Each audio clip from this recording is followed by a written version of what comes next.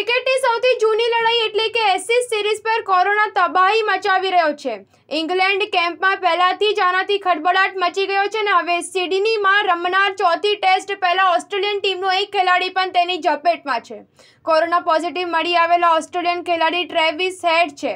કોરોનાના ચુંગાલમાં ફસ્યા બાદ હેડ ચોથી ટેસ્ટમાંથી બહાર થઈ ગયો છે.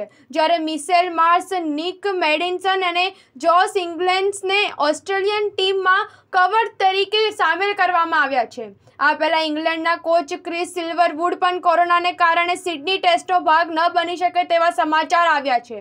તે જ સમયે મેચ રેફરી ડેવિડ બૂન પણ કોરોના પોઝિટિવ આવ્યા બાદ સિડની ટેસ્ટમાંથી બહાર થઈ ગયા છે. મેચ રેફરી ડેવિડ બૂન પણ કોરોના પોઝિટિવ આવ્યા બાદ સિડની ટેસ્ટમાંથી બહાર થઈ ગયા છે. આઈસીસીની ઇન્ટરનેશનલ પેનલ ઓફ રેફરીના સભ્ય સ્ટીવ બર્નર્ડ ચોથી ટેસ્ટમાં મેચ રેફરી તરીકે તેમની જગ્યા લેશે. ઓસ્ટ્રેલિયાએ પાંચ ટેસ્ટની એસી શ્રેણીમાં થ્રી ઝીરોની અજય સરસાઈ મેળવીને ટાઇટલ પર કબજો કર્યો છે.